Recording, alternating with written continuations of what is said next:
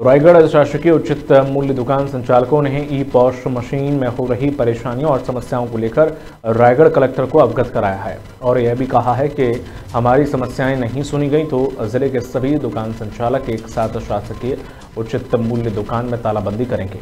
ज़िले के सभी शासकीय उचित मूल्य दुकान के संचालक और रायगढ़ कलेक्टर और को ज्ञापन सौंपा और विभिन्न संचालन में आ रही समस्याओं से रायगढ़ कलेक्टर को अवगत भी कराया।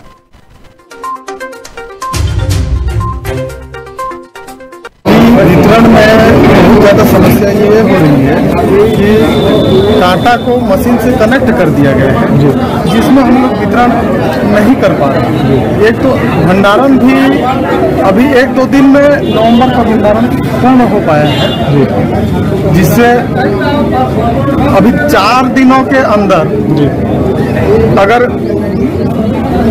टाटा से कनेक्ट करके हम लोग वितरण करेंगे तो मुश्किल से 100 डेढ़ सौ हितग्राहियों को वितरण कर पाएँगे। एक दिन में 25 से 30 हितग्राहियों को वितरण कर पा रहे हैं। जिला रायगढ़ के सभी शासकीय उचित मूल्य दुकान के संचालक विक्रेता संघ के द्वारा एक ज्ञापन सौंपा गया है। अपनी विभिन्न मांगों को लेकर खासकर जिसमें अभी क्विक पास मशीन से जो आने वाली समस्या है, जिस कारण हम ये लोग शीघ्र हितग्राही को आओ राशन बांट नहीं पा रहे हैं, जिससे कारण समस्या आ रही है। इसके संबंध में इनके द्वारा जो है ज्ञापन दिया गया और भी समस्याएँ हैं तो इनका जो है शीघ्र ही निराकरण किया जाएगा।